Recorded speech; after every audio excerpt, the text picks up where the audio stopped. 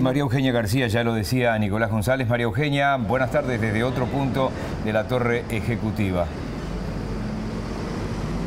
Compañeros, ¿cómo les va? Buenas tardes para ustedes y para todo el país. Como ya lo decía Nicolás, nos encontramos en la planta baja, nos encontramos en la vereda de la Torre Ejecutiva porque posteriormente esta conferencia de prensa quedará, nos imaginamos, el presidente de la República, Luis Lacalle Pou. Luego se reunirá con líderes políticos y que citó precisamente Lacalle Pou para mantener también una reunión con ellos. Ya llegó el líder del Partido Colorado Sanguinetti, también lo hizo Edgardo Novik del Partido de la Gente, también está presente aquí, ya subió al piso número 11, Javier Miranda del Frente Amplio.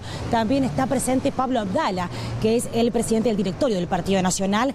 También está del PERI, César Vega, y del Partido Independiente Posada. Al momento no ha llegado ningún integrante de Cabildo Abierto. Recordemos que su presidente actualmente es Domenech. Bueno, puede llegar Domenech, también lo puede llegar a ser eh, un líder y bueno, un conocido del, del Cabildo Abierto que es de alguna forma Guido Manini Ríos. Así que al momento ninguno de Cabildo Abierto se ha presentado en el lugar.